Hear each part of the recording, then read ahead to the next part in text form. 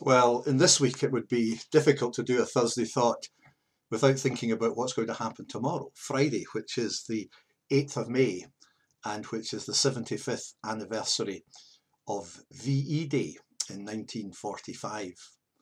Um, I feel a particular attachment to that day, not because I was there, although I was alive at that time. I was born on the 12th of April 1945, just three weeks before VE Day. And I have a fascination with what happened at that particular time.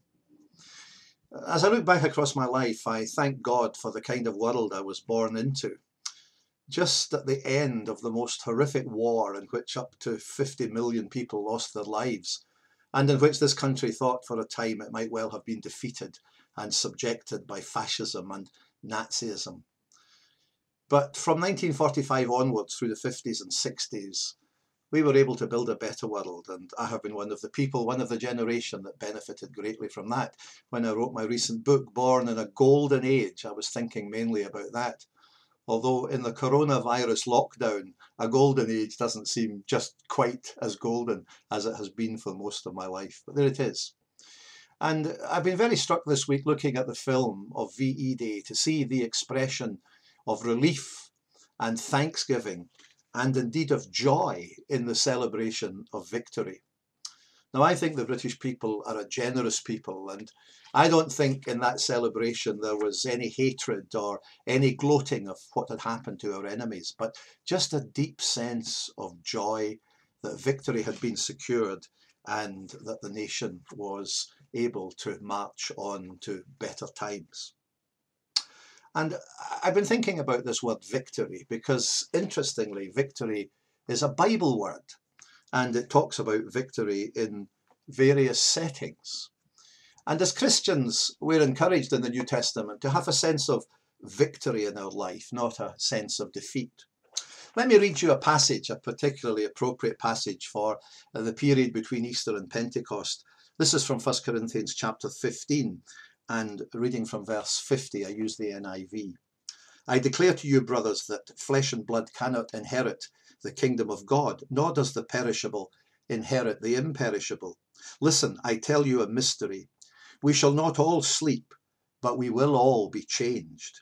In a flash, in the twinkling of an eye, at the last trumpet.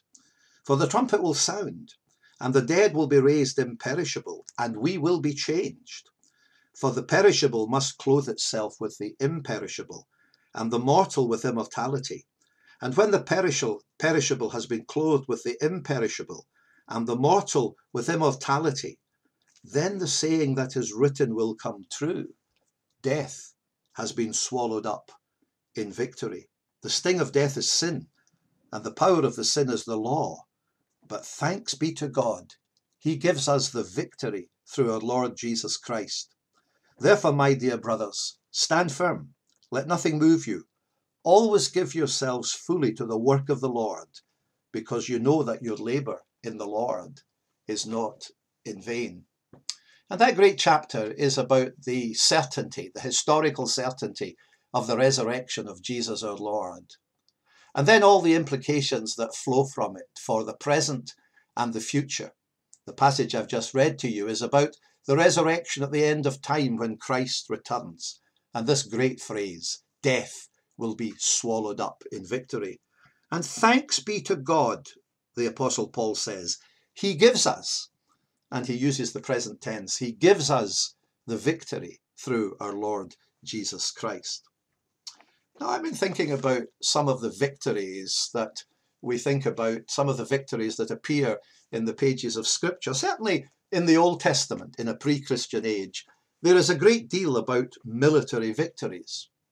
War is a terrible thing whenever it happens. Some people have said that the Second World War came as close as it is possible to come to the Christian understanding of a just war. And sometimes force has to be used to overcome evil. And there's much of that in the Old Testament. It's interesting that the skeptics and the atheists often turn to the battles of the Old Testament to show how wild and crude it all was. And indeed, war was and is a nasty business. But some of these battles had to be fought. They had to be fought to regain the land. they had to be fought to deal with some of the wickedness and evil that was in the world. John Lennox has written a very interesting book, an apologetic book called Gunning for God Why the New Atheists Are Missing the Target. And he has a whole chapter about is the God of the Bible a despot and deals with the battles of the Old Testament and has some very interesting things to say about the way in which the Jewish army was constrained, uh, it had to act fairly, it had to act justly, but sometimes it was necessary for there to, for there to be a military engagement and to secure a victory. And it's interesting that uh, some of the verses of the Old Testament talk about that. 2 Samuel 8, verse 6, the Lord gave David victory wherever he went. Psalm 44, verse 6, I do not trust in my bow, my sword does not bring me victory, but you gave us victory over our enemies. You have put our adversaries to shame. And Psalm 60, verse 12 says, With God we shall gain the victory, and he will trample down our enemies. Now, for some people, these are hard verses to understand, but these are verses that deal with civic power, with military power, and with the reality of human experience of battle and of victory. But there are other kinds of victories. There are social victories and political victories. There's an interesting verse in Proverbs 11, verse 14, which says, For the lack of guidance, a nation falls, but many advisers make victory secure. And that's not necessarily a military victory. It could be a victory in social and civic circumstances where some evil is rooted out, where some difficulty is solved.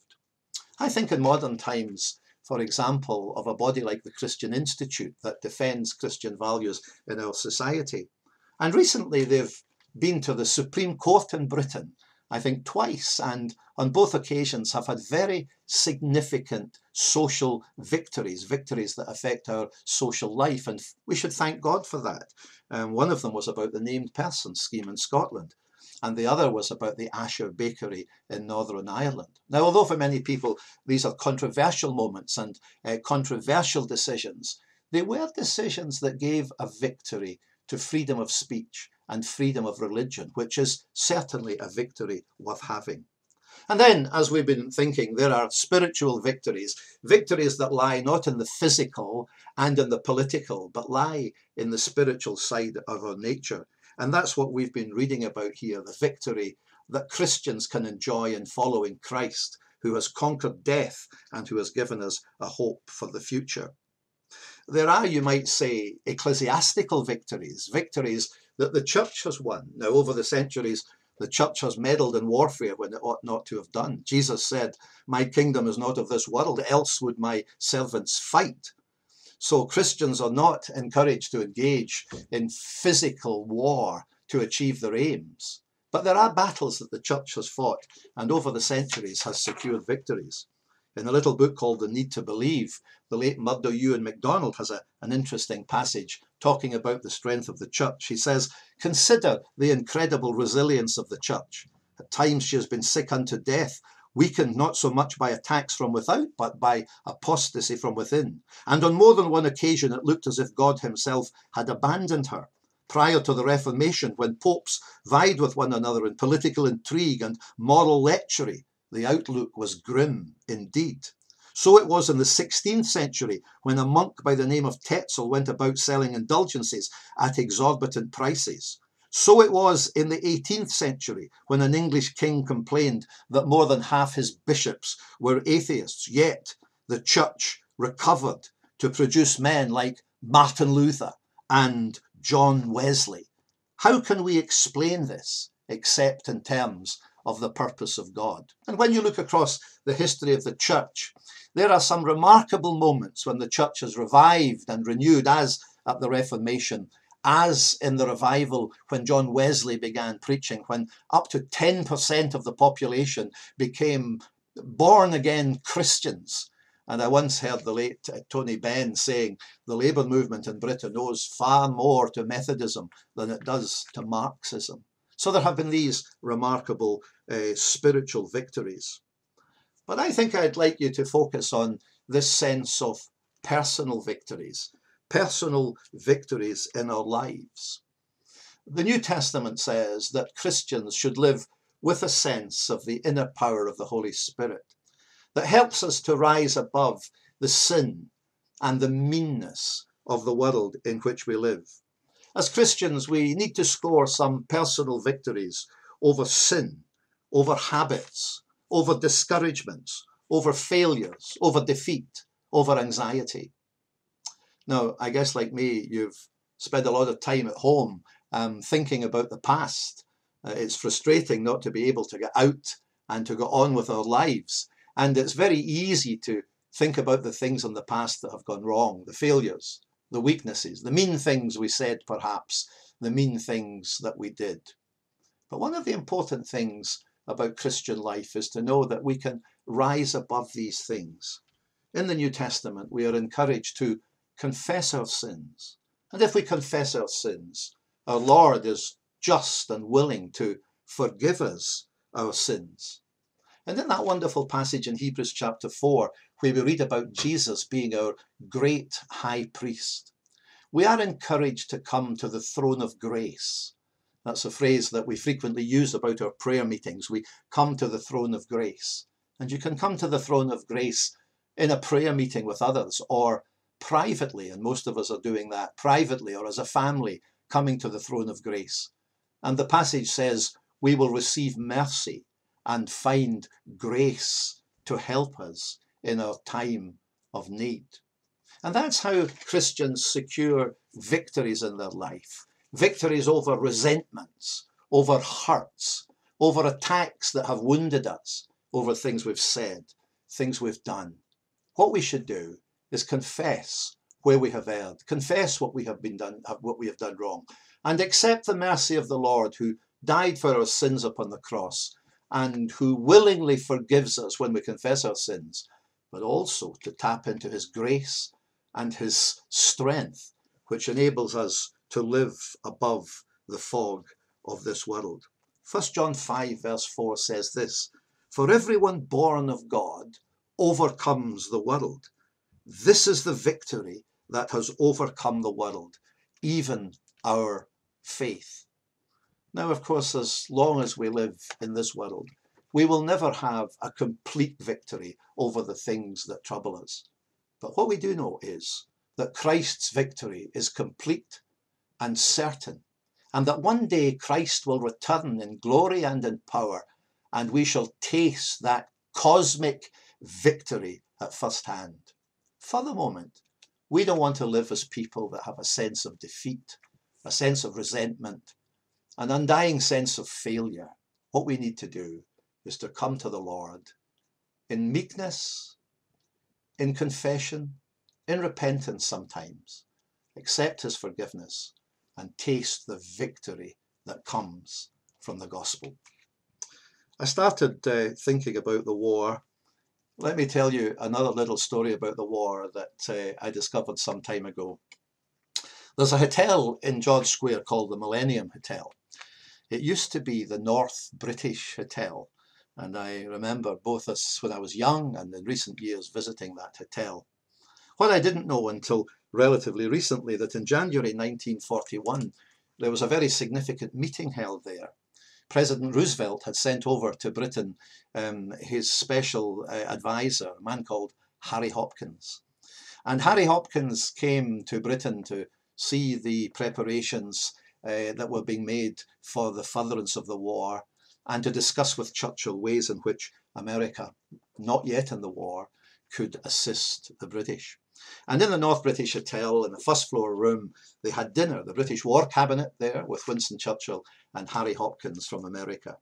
And at the end of the meal, um, Churchill made a speech, and the gist of his speech was to appeal to the Americans to give this country all the help they could, and they certainly did that, coming, of course, into the war at the end of 1941 after the attack on Pearl Harbor. But a very interesting thing happened that night. When Harry Hopkins replied to Churchill's message, he quoted the Bible, and he quoted a passage from the book of Ruth. He said, I think, if, as I recall, he said, here's a passage that my old grandma, I think from Auchterarder, would have quoted and would have known. And he took these very precious words of Ruth to Naomi when she said, Your God shall be my God. Your people shall be my people. And Harry Hopkins added his own words, even unto the end. It is said that Churchill was reduced to tears because Hopkins was signalling to Churchill a profound sense of the American wish to support the British in a time of need. Well, we're not depending on words like those of Harry Hopkins. We're depending on words of our Lord and our Saviour, who sent his people into the world to be his witnesses wherever they went. And this is what he said I will be with you always. And I think if we get that sense in our hearts and in our minds, then we will experience that sense of victory, which is meant to be the tenor of Christian life. Thank you for listening, and may God bless you.